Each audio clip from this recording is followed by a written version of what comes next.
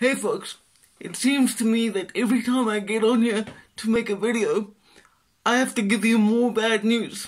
And unfortunately, this one's not going to be the exception. I'm making this video to keep you all informed in case for whatever reason I disappear from the internet. I say for whatever reason, but um, if I do disappear, I will very likely know why what caused it. Uh, those of you who've known me for any length of, any length of time will know that South Africa for the past almost 15 years now has been under a system that's referred to as load shedding. Load shedding is the term used uh, when a country needs to reduce the load on its public power grid.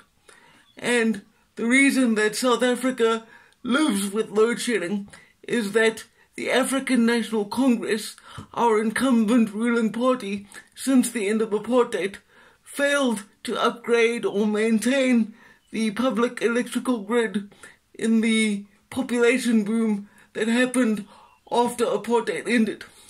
What they did was simply hook up more and more homes to the grid without worrying or having any concern about uh, overwhelming its com- its capacity to generate power.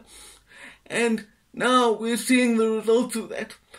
As I record this, uh, large parts of Durban, the city in which I live, are without power. And some of them being without power for two days at this point. As I speak, we still have power where I am, but I don't know how much longer that will hold out. Because you see, the electrical grid was never designed to be switched on and off. So every time they turn off the grid for load shedding, when they turn it back on, there's a surge, which results in more and more electrical substations being blown up or burnt out.